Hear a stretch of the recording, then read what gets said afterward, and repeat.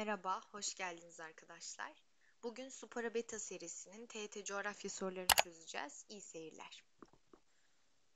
İlk sorumuzda başlayalım. Aşağıdaki tabloda Hatay ve Sinop'ta 21 Haziran ve 21 Aralık tarihlerinde güneşin doğuş ve batış saatleri verilmiştir. Hemen şöyle kenarda açalım arkadaşlar. 21 Haziran tarihinde güneş ışınları yengeç dönencesine dik düşer. Aydınlanma çizgisi ya da aydınlanma dairesi kutup dairelerini keser veya teğet geçer. Böyle de duyabilirsiniz. Ve arkadaşlar bu tarihte yani 21 Haziran tarihinde güneyden kuzeye doğru gidildikçe gündüz süresi uzar. Buna ek olarak kuzey yarım kürede yaz gün dönümü, güney yarım kürede kış gün dönümü olur şeklinde eklemelerde de bulunabiliriz. 21 Aralık'ı açalım birazcık. Bu tarihte de güneş ışınları arkadaşlar oğlak dönencesine dik düşer.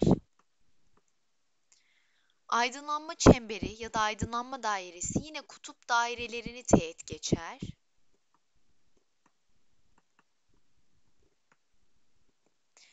Ve arkadaşlar bu tarihte güneyden kuzeye doğru gidildikçe gece süresi uzar. Arkadaşlar 21 Haziran tarihinde bizim ülkemizde yani Türkiye'de en uzun gündüz yaşanır. Ve arkadaşlar yine Türkiye'den bahsedelim. En kısa gölge boyu oluşur. 21 Aralık tarihinde Türkiye'de arkadaşlar en uzun gece yaşanır. Bu tarih yaklaşıyor şu anda. Ve 21 Aralık tarihinde bizim ülkemizde en uzun gölge oluşur. Gölge boyu. Çünkü güneş ışınları en iyi kaçıyla geliyor. Şimdi soruya dönelim. 21 Haziran tarihinde Hatay'da güneşin doğuşu 5.17, batışı 19.56. 21 Aralık'ta ise güneşin doğuşu 7.43, batışı 5.24. Sinop'a bakalım. Sinop'ta da 21 Haziran tarihinde 5 4 5'i 4 geçe doğmuş. 8'i 19 geçe batmış. Yine aynı şekilde 21 Aralık tarihinde 8'i 4 geçe doğmuş. 5'i 11 geçe batmış. Şimdi burada şuna dikkat etmemiz gerekiyor. Hatay dediğimiz yer arkadaşlar bizim en güney uç noktasında bulunan yer.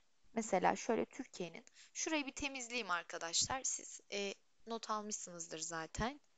Şimdi arkadaşlar devam edelim.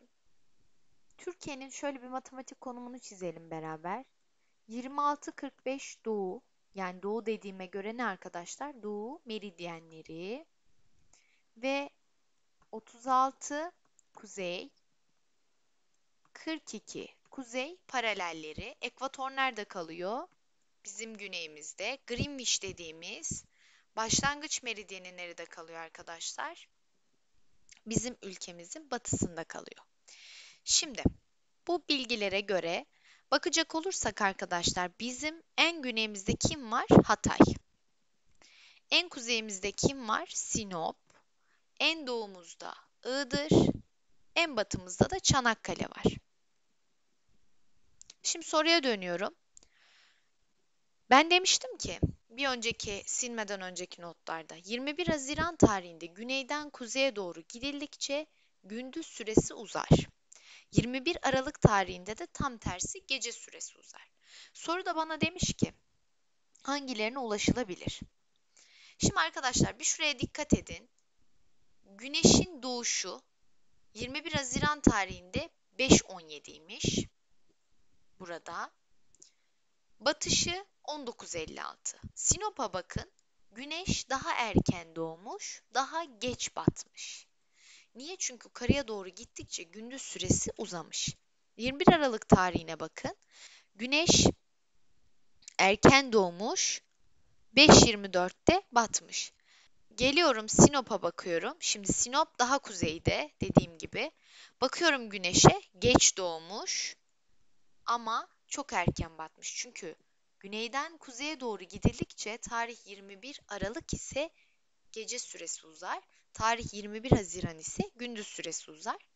Şimdi şuradan devam edelim. Hatay'dan Sinop'a doğru gece ile gündüz süreleri arasındaki zaman farkı artmaktadır demiş. Evet farklılık gösteriyor çünkü verilen tarih ekinoks tarihleri değil. Eğer ekinoks tarihleri olsaydı ekinoks dediğim tarihler nedir? 21 Mart, 23 Eylül tarihleridir. Ben bu tarihleri arkadaşlar ekinoks tarihleri derim. Bu tarihlerin bir özel özelliği var. O da şudur. Dünyanın her yerinde 12 saat gündüz, 12 saat gece yaşanır. Fakat 21 Haziran ve 21 Aralık tarihleri için aynı şeyi söyleyemem. 21 Aralık'ta Sinop'taki gündüz süresi 21 Aralık'ta Sinop daha kuzeyde olacağı için gündüz süresi kısadır. Tamam. Yani kısa, Hatay'a göre kısa. Devam ediyorum. 21 Haziran'da Hatay'daki gece süresinden uzundur. 21 Haziran tarihinde kuzeydeki yerlerde gündüz süresi daha uzun, güneydeki yerde ise gece süresi daha uzundur. İsterseniz şöyle bir not alalım. Arkadaşlar şimdi bakın Güneş 5.17'de doğmuş. 17'sini küsuratını geçtim. Kabataslak hesaplayalım direkt. 5'te doğmuş, akşam 7'de batmış. Neredeyse 14 saatlik bir fark var. Yani 14 saatlik bir gündüz var. Sinop'a bakıyorum 5'te doğmuş 8'de batmış. Burada 15 saatlik bir fark var. Mesela Aralık ayında bakalım. Hatay'da arkadaşlar 7'de doğmuş akşam 7'de batmış. Yaklaşık 10 saatlik bir fark var. Buraya geliyorum yani 10 saatlik bir gündüz yaşamış. Sinop'a geliyorum arkadaşlar. Sinop'ta 8'de doğmuş akşam 7'de batmış. O zaman burada da yaklaşık olarak 9 saatlik bir fark var. Küsuratlarına hiç bakmayın. Nereden hesapladınız hocam? Şöyle yapabilirsiniz arkadaşlar. Şimdi güneş 5.17'de doğmuş, güneş 19.56'da batmış ya. 19.56'dan 5.17'yi çıkarırsanız kaç saatlik bir fark varsa o bana bu saat farkını verecektir. Yani ne kadar gece ve gündüz fark olduğunu verecektir. Mesela Bakalım 21 Haziran tarihinde Hatay'da 14 saat gündüz varken Sinop'ta 15 saat gündüz var. Çünkü Sinop daha kuzeyde. 21 Aralık tarihinde Hatay'da arkadaşlar 10 saatlik gündüz varken Sinop'ta 9 saatlik gündüz var. Çünkü 21 Aralık tarihinde güneyden kuzeye doğru gidildikçe daha önce de söylediğim gibi gece süresi uzayacak. 21 Aralık'ta Sinop'taki gündüz süresi bakalım. 21 Aralık Sinop'taki gündüz süresi 9 saat. Hemen şuraya yazalım. 21 Haziran'da Hatay'daki gece süresi 21 Haziran Hatay'daki gündüz süresi 14 saat ise Hatay'daki gece süresi nedir arkadaşlar? 10 saat. Nereden anladım? Bir gün 24 saat çünkü. Gece süresinden uzundur demiş. Hayır, uzun değil. Hatay'daki gece süresi daha fazla. Yani çok gereksiz zorlamışlar bu soruyu. 21 Haziran'daki Hatay'daki gündüz süresi 21 Haziran Hatay'daki gündüz süresine bakıyorum. 14 saat hemen not alalım şöyle. Sinop'takinden daha fazladır demiş. Sinop'ta 15 saat. Yanlış bu da. Bir kere olamaz çünkü Sinop daha kuzeyde. Sinop'ta Haziran ayında bakıyorum 15 saatlik bir fark var. Güneş Aralık ayına göre erken doğup geç batmaktadır. Buna bakalım hemen. Burada saat farkını sormamış. Sinop'ta Haziran ayında 5'i 4 geçe doğmuş, Aralık ayında ta 8'de doğmuş. Daha mı erken doğmuş? Evet, erken doğmuş. Peki daha mı erken batmış? Hayır. Bak, Sinop'ta Haziran ayında 5'te doğarken Aralık ayında 8'de doğmuş. Evet, Sinop'ta Haziran ayında daha erken doğmuş. Peki Sinop'ta Haziran ayında 8'de batmış, Aralık ayında 5'te batmış. Daha geç mi batmış? Evet, geç batmış. Yani 1 ve 4 numara doğrudur arkadaşlar. Diğerleri yanlıştır. Yine ufak bir tekrar edeyim. Arkadaşlar 21 Haziran tarihinde güneş ışınları yengeç dönencisine dik açıyla gelir ve aydınlanma çizgisi yani dünyanın bir yarısını gündüz bir yarısını gece yapan çizgi kutup dairelerini keser. 21 Aralık tarihinde ise güneş ışınları oğlak dönencesine dik düşer ve yine aydınlanma çizgisi kutup dairelerini keser. Burada şuna dikkat etmemiz gerekiyor. Bizim 21 Haziran tarihinde güneyden kuzeye doğru gidildikçe gündüz süresinin arttığını bilmemiz gerekiyor. 21 Aralık tarihinde ise yine güneyden kuzeye doğru gidildikçe gece süresinin arttığını bilmemiz gerekiyor. Bu bilgi dışında ne yaptım? Hemen baktım Hatay'da arkadaşlar 5.17'de doğmuş, 19.56'da batmış. Kaç saatlik bir fark var yaklaşık olarak? 14 saatlik. Sinop'ta 15 saatlik. Geliyorum. Aralık ayında Hatay'da 10 saatlik bir fark varken Sinop'ta 9 saatlik bir fark var. Bu bilgiler dışında aşağıdaki öncülleri cevaplandırdık. Evet dedik ki Hatay'dan Sinop'a doğru gece ile gündüz süresi arasında zaman farkı giderek artar. Çünkü birisi daha güneyde, birisi daha kuzeyde. Ve ben şunu biliyorum. 21 Haziran tarihinde güneyden kuzeye doğru gündüz süresi artar. 21 Aralık'ta ise güneyden kuzeye doğru gece süresi artar. Bu bilgiler dahilinde de doğru yanıtımız B seçeneği olur. Diğer sorumuz mekansal yapıyı ve mekan üzerindeki ekonomik ve kültürel işleyişi daha iyi organize edebilmek amacıyla oluşturulan bölgelere işlevsel bölge adı verilir. Hangisi bu tür bölge sınıflandırmalarında yer almaz? Şimdi arkadaşlar bu soru çok güzel bir soru. Çünkü ilk etapta soruyu okuduğumuz zaman şimdi bir kere ekonomik ve kültürel dediği için belki burada kültürü direkt elediniz, istatistik hani ekonomiyle alakalıdır diye elediniz, kalkınma belki ekonomiyle alakalıdır diye elediniz. Böyle düşünmüş olabilirsiniz ama bu soru aslında biraz bilgi sorusudur. Şöyle bizim bölgelerimiz ikiye ayrılır arkadaşlar. Bunlardan birisi şekilsel bölgedir. Şuraya not alalım. Bir diğeri arkadaşlar işlevsel bölgedir. Şimdi şekilsel bölgelerimiz iki tanedir arkadaşlar. Bir, iki diyelim şöyle. Birinci şekilsel bölgemiz doğal şekilsel bölge. İkinci şekilsel bölgemiz ise beşeri. İşlevsel bölgelerimiz ise dört tanedir arkadaşlar. Şimdi bunlardan ilki yönetim bölgeleri. işlevsel yönetim diye geçer.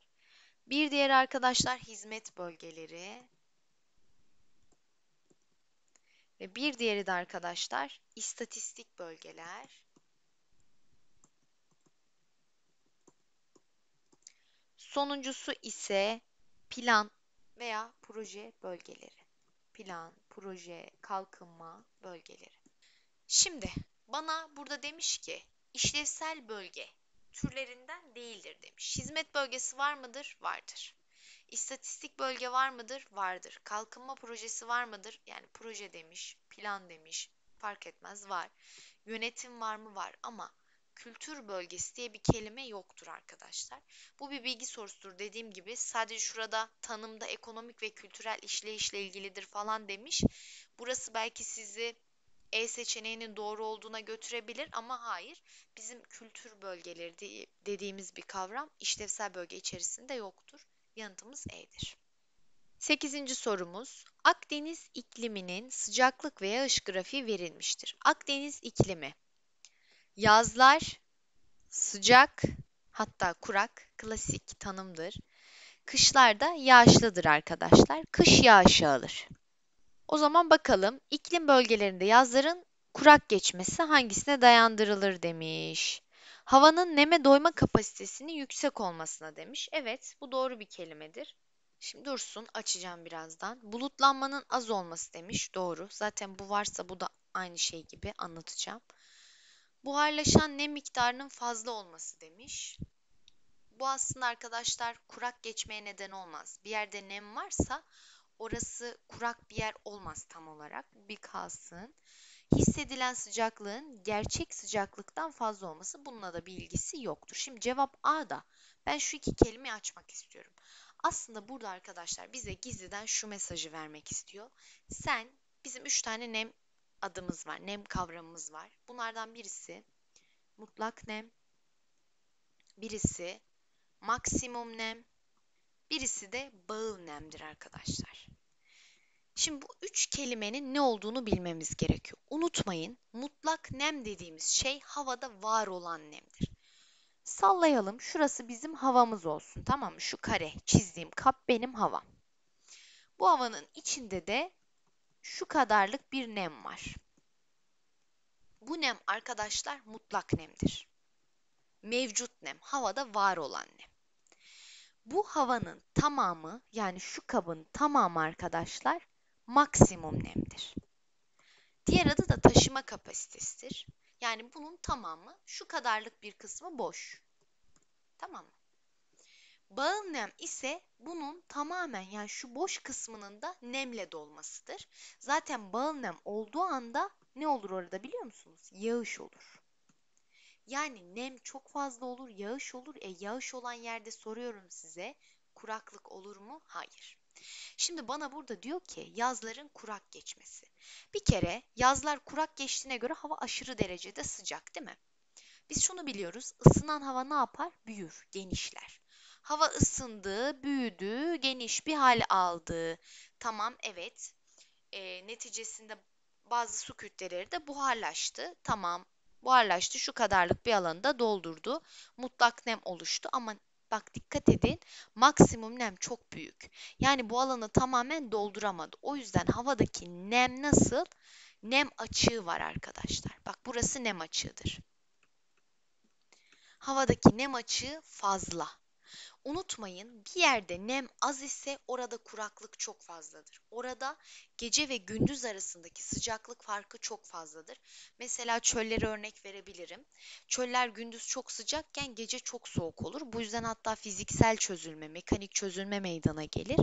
Mesela ülkemizde de Karadeniz bölgesinde nem açığı çok fazla yoktur. O yüzden böyle aşırı derecede sıcaklık, aşırı derecede de soğukluk olmaz. Çünkü nem var havada. Nem ısıyı tutuyor.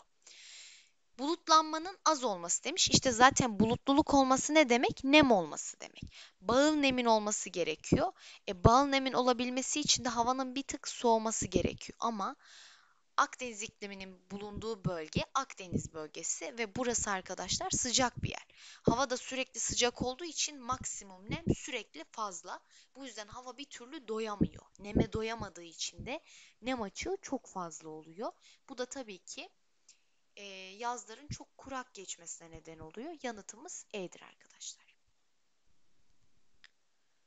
Evet, diğer sorumuzla devam edelim. Magellan Boğazı ile Süveyş kanalının konumları verilmiştir demiş. Tamam, Süveyş kanalını da vermiş şurası.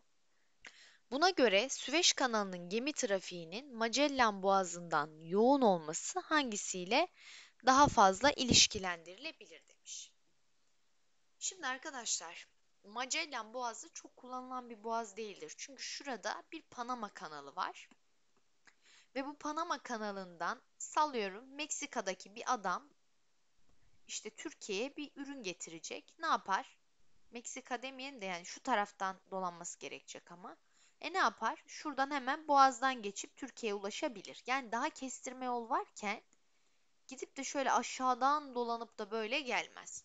Şimdi bakalım bulundukları ülkelerin gelişmişlik düzeyiyle alakası yoktur. Doğayla doğal ve yapay hayır. Bir kere unutmayın. Ha tamam evet. Kanal dediğimiz şey yapaydır arkadaşlar. Burada da bir boğaz gösterdiğini hatırladım bir an. Yapay. Boğaz dediğimiz şey doğaldır. Kendiliğinden bir boşluktur. Mesafenin kısaltma durumu ile ilgilidir tabii ki. Geçiş ücretiyle alakası yoktur. Öyle olsa zaten Panama kanalı daha pahalı. Yani oradan geçmez, buradan geçer. Büyük gemilerin geçişi için uygun olmalarıyla ilgisi yok. Zaten bunların ikisi de aynı. Orada biraz sıkıntı yaşayan gene Yunanistan'da var. E, çok küçük dar boğazlar. Boğaz yok, kanal var. Ama bu Süveyş kanalı için ve Magellan Boğazı için bu yorumu da yapamam. Tamamen mesafe ile alakalıdır. Çok işlek değildir. Süveyş kanalı mesafeyi daha kısa tutuyor. Buradan hızlıca geçebiliyorsun ama Magellan Boğazı biraz yolu uzatıyor. İhtiyaç duyulmuyor. Bunun dışında bu harita hazır önümüzde varken başka kanal ve boğazları da göstereyim size.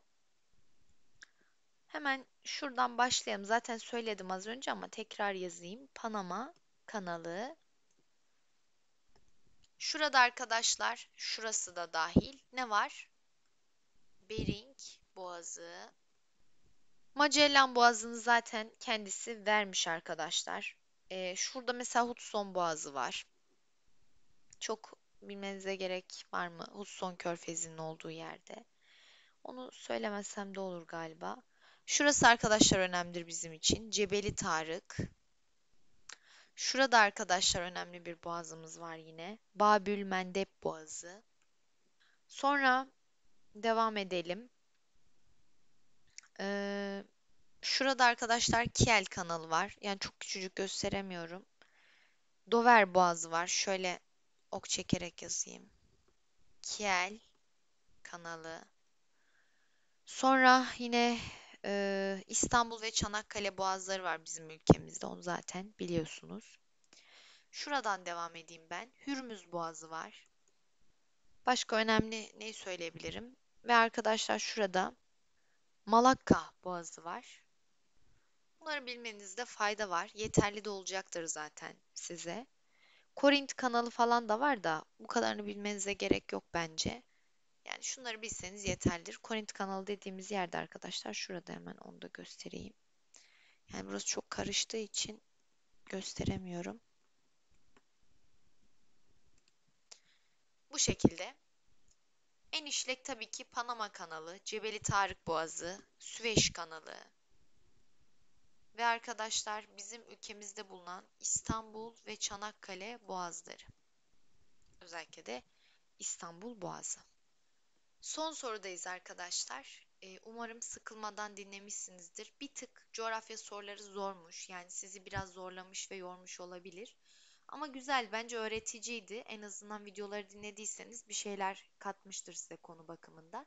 Şimdi piramit sorusu var. Nüfus piramidi sorusu. Nüfus konusunda ÖSYM bilirsiniz çok sever. Sorar da genelde. Sorusu çok çıkmıştır. Şimdi biraz piramitlerden bahsedelim. Arkadaşlar şu piramitten bahsederek başlamak istiyorum ilk önce. Gözüme çarptı hemen. Piramitleri yorumlarken lütfen dikkat edin. İlk önce şu tabana bakacağız tamam mı? Taban kısmına, alt kısmı. Şu altta verdiği 2, 4, 6, 8 dediği şey milyon kişi demek. Yani bu piramite, piramitte ne kadar insan doğduğunu ifade ediyor gibi düşünelim şu altta. Şimdi tabana bakıyorum. Taban ne kadar genişse arkadaşlar o kadar doğum fazla demek. Bakıyorum bu ülkede 8 milyon çocuk doğuyor, bebek doğuyor. E bakıyorum, şimdi burası 0-15 yaştı, şurası 64 ve üzeri. Bakıyorum arkadaşlar, 8 milyon nüfus doğmuş ama bak orta yaşa bak 4 milyondan daha az, neredeyse 2,5 milyon kadar orta yaş kalmış. O zaman demek ki doğum fazla ama ney de fazla arkadaşlar bu ülkede? Ölüm de çok fazla. Yine devam ediyorum aynı ülke için yorum yapıyorum. Şimdi bu ülkede şu orta yaşta şu kısım bana orta yaşı verir. Şu ilk baştaki kısım gençtir. Ve arkadaşlar buradaki nüfusa dinamik nüfus denir. Tamam mı? Dinamik, aktif nüfus denir. Şimdi ilk doğum fazla, ölüm fazla dedik. E doğum fazla, ölüm fazla ise arkadaşlar bu ülke gelişmemiş bir ülkedir. Bu ülkenin demek ki nüfus artış hızı kalkınma hızından çok fazla. Ülke ne kadar kalkınsa da nüfus artış hızına yetemiyor yine de. Ve yine bu piramitle ilgili en can alıcı şey şudur. Der ki bu ülke yani şu piramite sahip ülkede nüfusun ikiye katlanma. Şöyle yazalım. Katlanma süresi kısadır. Evet kısadır. Neden kısa? Diyelim ki 10 milyonluk bir ülke bu. Tamam mı? 10 milyon nüfusa sahip bir ülke. 2 sene sonra sallıyorum 20 milyon olabilir. Neden? Çünkü doğum oranları çok fazla. Bak tabanı çok geniş. Şimdi devam edelim. Mesela şundan bahsedelim. Bunu da başka renkle yazayım hatta. Şu piramit arkadaşlar arı kovanı denir bu piramite. Bakın tabana dikkat edin.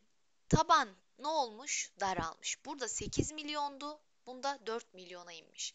O zaman demek ki bu ülkede doğum az. Ama dikkat edin doğumun az olmasına rağmen orta yaş falan çok fazla. Yaşlı nüfus çok fazla. O zaman demek ki ölüm oranları da çok az. O zaman arkadaşlar bu ülke gelişmiş bir ülke midir? Evet. Bu ülkede nüfusun kendini yenileme, yenileme süresi ya da nüfusun ikiye katlanma süresi nasıldır? Uzundur. Çünkü doğum çok az. Doğum oranları çok az. Nüfus artış hızı yavaş. Süper yaşları olarak bilinir dünyanın. Fransa ve Japonya mesela. Böyleyken artık nüfusunu artırmak nüfus artış hızını artırmak istiyor. Bu yönde bir politika izliyor. Yani şu ülkenin gelecekte uygulayacağı piramit budur. Bu ülkenin ise gelecekte uygulayacağı piramit şudur arkadaşlar. Şimdi devam ediyorum. Arkadaşlar şu piramitle devam ya da şu piramitten devam edelim. Şimdi ben arı kovanı şeklinde bir piramitti. Gelişmiş bir ülkeydi. Nüfusun ikiye katlanma süresi uzundu. Baktı ki nüfus artış hızım çok düştü ve benim dinamik nüfusum azaldı. Benim çalıştıracak işçiye ihtiyacım var. Bu ülke ne yapar? Göç alır. Bu ülke ne yapar arkadaşlar? Göç verir. Çünkü gelişmemiş. İşsizlik çok fazla. Şimdi devam edelim. Bu arada her göç alan ülke de gelişmiş ülke demek değildir ha. Buna da yani takılmayın da genel anlamda yorum yaptım. Şimdi şunla devam edelim şu piramitle. Bunu da başka renkle göstereyim. Arkadaşlar dikkat edin. Eskiden taban genişken 6 milyonluk doğum varken bir anda aşağıya doğru daralmış. Bak sadece tabana bakarak yorum yapıyorum.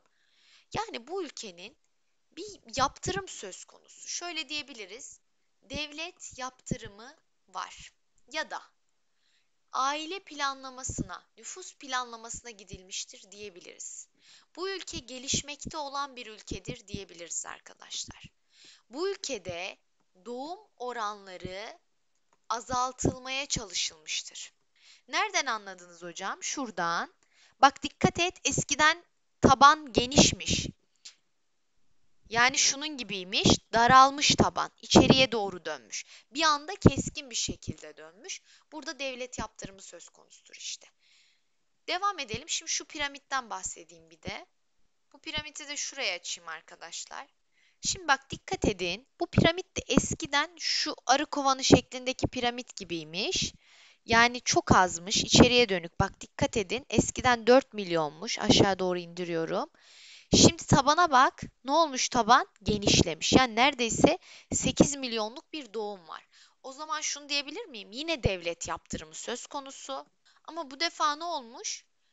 Nüfus artış hızını artırma yönünde bir politika izlemiş. Yani doğum oranları artmış. Yine arkadaşlar bu ülke gelişmiş bir ülkedir. Demek ki bu ülkede kalkınma hızı nüfus artış hızından o kadar çok fazla ki devlet diyor ki siz yeter ki çocuk yapın diyor. Çocuk yapmaya teşvik var tamam mı? Evlilik yaşını küçültebilir, araba verebilir, ev verebilir veya işte para teşviki yapabilir ya da işte e, izinler tanıyabilir yeter ki çocuk yapsınlar gibisinden. Bunun gibi devlet teşvikler yapıyor. Yani bir devlet yaptırımı yine söz konusu.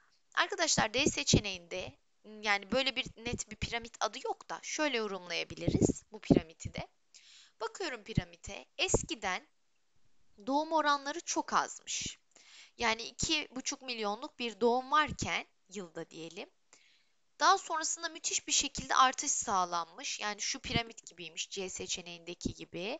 4 milyonluk bir nüfus artışı olmuş. Sonra devlet tekrar azaltma yönünde bir politika izlemiş. Bak dikkat edin.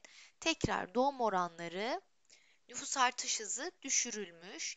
2,5 milyon, 3 milyona falan düşmüş. Şimdi soruya dönüyorum. Demiş ki aşağıda bir ülkeye ait nüfus piramidi verilmiştir. Şu piramite bakıyorum. Arkadaşlar piramite bakarsam şu yorum yapabilirim. Taban çok geniş. O zaman burada doğum çok fazla. E bakıyorum 8 milyon çocuk doğmuş. E bu çocuk hiç büyümeyecek mi? Ama dikkat et orta yaşa. Şu 4'ten uzattım. Bak şurası orta yaş. 4 milyonluk bir orta yaş var. Demek ki ölüm de fazla. Demek ki bu ülke gelişmemiş bir ülke. Şimdi diyor ki bu ülkedeki doğum oranında ciddi bir düşüşün. Doğum oranında ciddi bir düşüş diyor. İşte beklenen anahtar kelime bu. Yani taban ne olacak? İçeri çökecek arkadaşlar. Görülmesi durumunda gelecekteki nüfus piramidinin hangisi gibi olması beklenir? Bu gelişmemiş bir ülke ve doğum oranları düşeceğine göre içeriye doğru bir çöküntü olması gerekiyor tabanın. E baktığımız zaman seçeneklerde A seçeneğinde bu durumu görebilirim arkadaşlar. A seçeneğinde taban bakın dikkat edin bir temizleyeyim şurayı. Bakın arkadaşlar şimdi temizlemi tekrar göstereyim. Taban çok geniş yani doğum oranları fazla. Sadece şu taban kısmına bakıyorum piramidin. Çok geniş. Doğum fazla, ölüm fazla gelişmemiş ve bana burada diyor ki doğum oranında ciddi bir düşüş olacaktır diyor. E o zaman demek ki devlet bir politika izleyecek ve bunun tabanı içeriye doğru girecek. Şu şekilde olacak. E böyle bir piramit hangi seçenekte var? A seçeneğinde. Bakın önceden fazlaymış, 6 milyonlukmuş mesela. Bir anda içeriye doğru çökmüş. Yani cevabımız A seçeneğidir arkadaşlar. Evet arkadaşlar bir deneme soru çözümünün de sonuna geldik. Umarım sizlere bir şeyler katabilmişimdir. Videomuz bitti. Video izlediğiniz için çok teşekkür ediyorum. Beğenmeyi, kanalımıza abone olmayı, güzel yorumlarınızı yapmayı esirgemeyin. Kendinize iyi bakın. Bir sonraki soru çözüm videosunda tekrar görüşmek üzere. Hoşçakalın.